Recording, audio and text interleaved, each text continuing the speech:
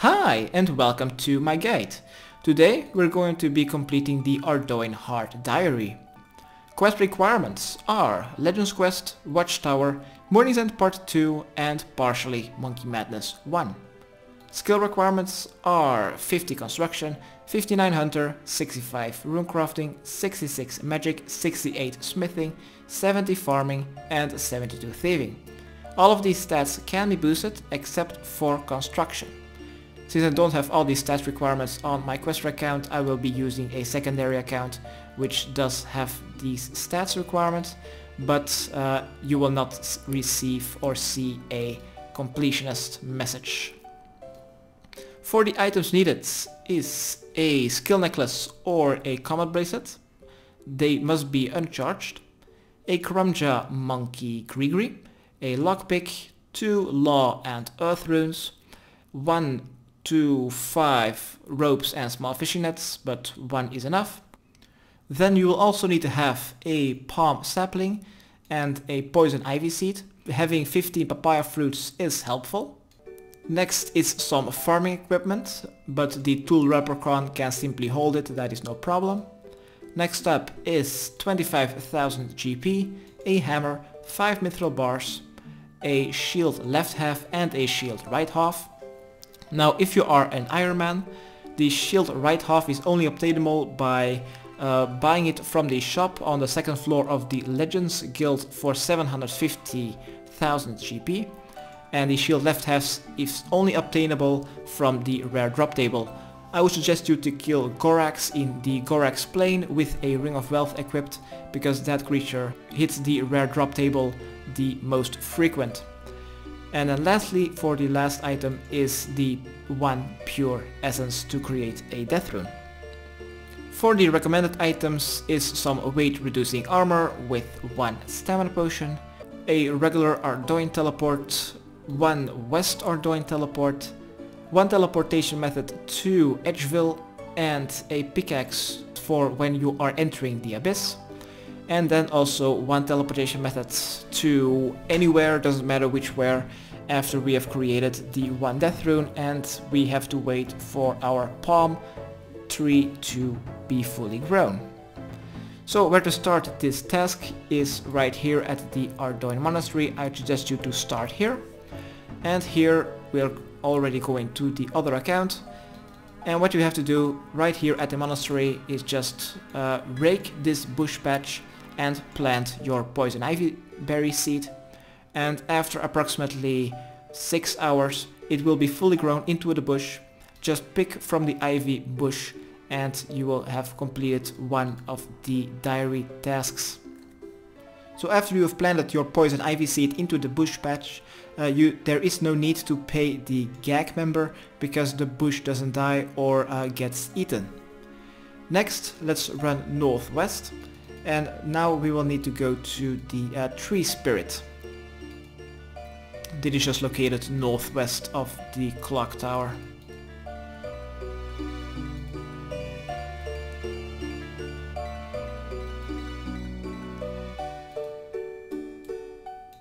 Alright, let's travel and let's go to the Tree Gnome Village. The first option. Let's exit let's go to Ekloy. Let's follow Ekloy and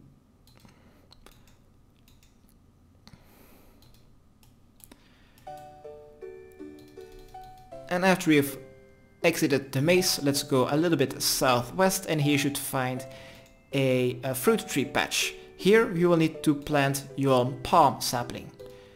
This should take approximately 16 hours to be fully grown but uh, after you've planted your palm tree sapling, just go to Gileth, the gag member, and pay her 15 papaya fruits, and then in those 16 hours your palm tree sapling will not die. Alright, back on my newbie account. After you have planted your palm tree sapling and you have paid Gileth 50 papaya fruits, let's go north. Let's keep running north until we see a bridge and after you have crossed the bridge across the river, we will have to head west. maybe drink a stamina potion and this will be one of the uh, longest distances that we will have to run during this guide. Uh, just keep going west until you see the hunter sign and the ghosts and these. Just let just go to the uh, red salamanders. If there's someone here, quickly hop. Alright, after hopping a little bit, let's set up a trap. Hopefully we will be able to catch that red salamander immediately after our first try.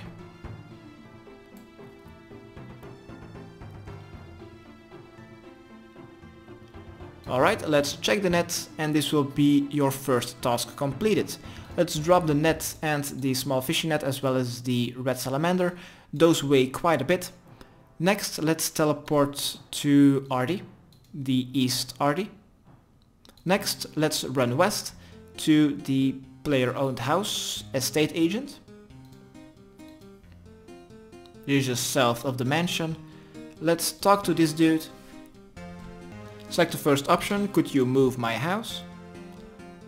Uh, more options and then select Yanille, the third option, which will cost you 25,000 GP. Next, let's continue running west and now enter this, the Ardy Zoo.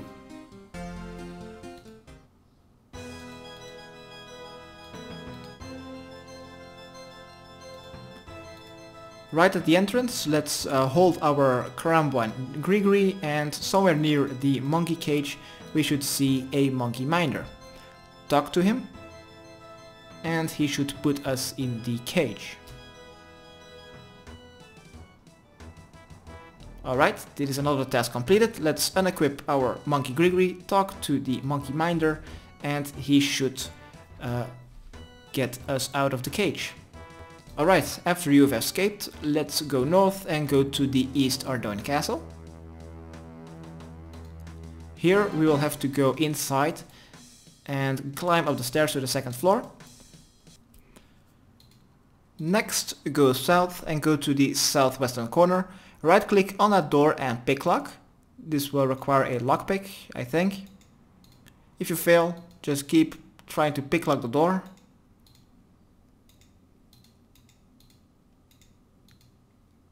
that are a lot of fails. Alright, there we go. Next, open up the other doors. Don't pickpocket the paladin. And here we should find a chest. Right click and search for traps. You shouldn't uh, fail it and this will teleport you to Witchaven with a raw shark and an adamant ore.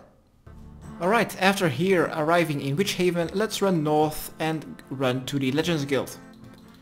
Now it is time for us to charge our skill necklace or combat bracelet.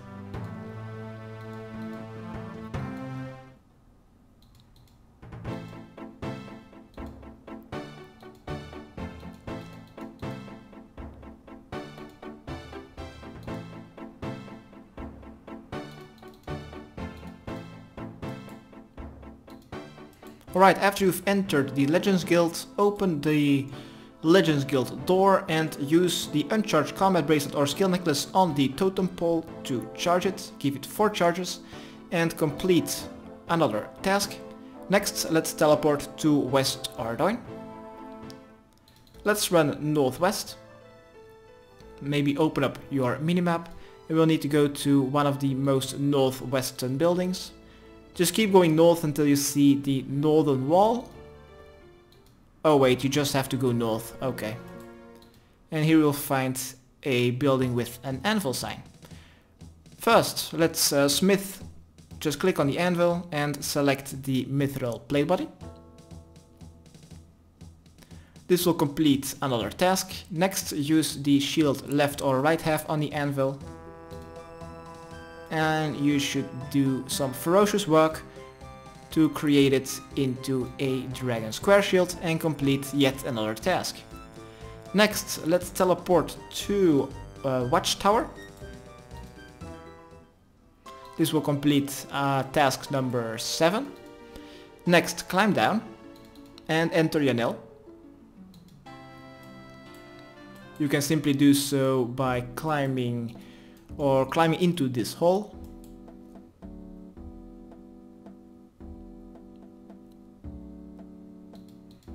Next, let's go to your POH, which you've just set to uh, Yanille, back when we were in uh, Ardy, and let's enter our POH. Go to your house, and this will complete another task. Next, exit your house and go east. Now, for another task, we will need to enter the Magic Guild. Now, maybe this will also trigger because the back door, there's now a back door here, so hopefully this will also trigger this uh, task. And if not, just go through the other door.